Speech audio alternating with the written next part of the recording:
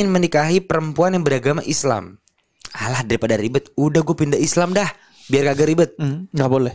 Nggak boleh karena agama Tapi kalau itu di Instagram langsung akhirnya ke jalan yang benar. Iya, kadang ya itu orang Berarti kalau sebelumnya salah.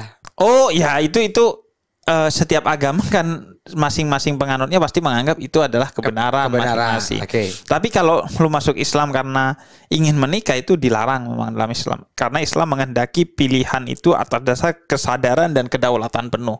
Oke.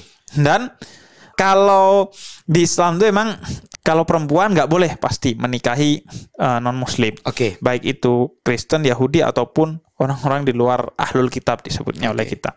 Nah kalau cowok dia eh, nggak boleh dengan selain ahlul kitab. Dengan ahlul kitab itu ada ayat yang memperbolehkannya. Ya.